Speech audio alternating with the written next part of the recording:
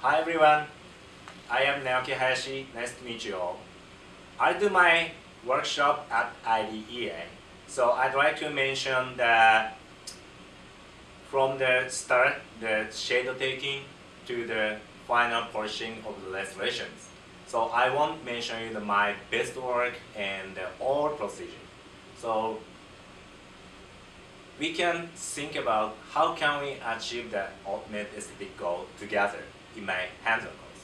Please join us and I look forward to see you at IDEA. Thank you.